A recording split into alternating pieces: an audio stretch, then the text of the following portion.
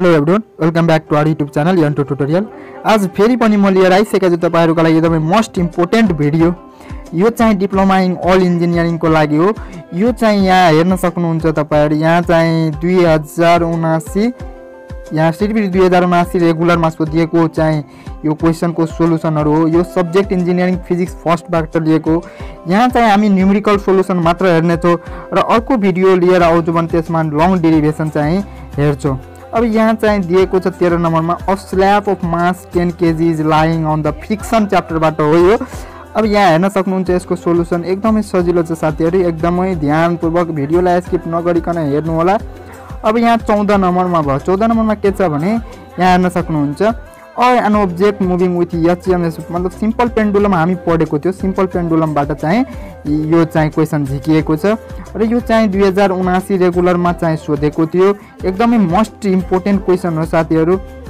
र यहाँ चाहिँ अब म्याक्सिमम् एल्सिलेसन सबै निकाल्नु भन्छ र अब यहाँ चाहिँ a glass flask volume is यति मर्करी विल ओभरफ्लो यो पनि हामी एकदमै क्युबिकल एक्सपान्सनवाला पढेको थियो त्यसको कफिसियन्ट निकाल्ने थ्योरीमा।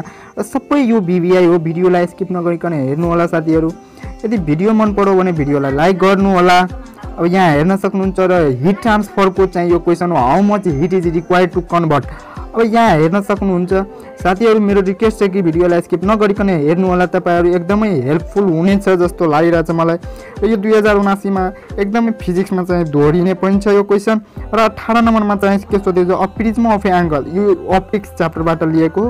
यहाँ चाहिँ मिनिमम डेभिएसन चाहिँ हामीले थ्योरीमा चाहिँ यो डेरिभेसन यसको पनि डेरिभेसन पनि यसको चाहिँ इम्पोर्टेन्ट रहेछ र यसको न्युमेरिकल पनि इम्पोर्टेन्टै रहेछ भन्ने बुझिन्छ।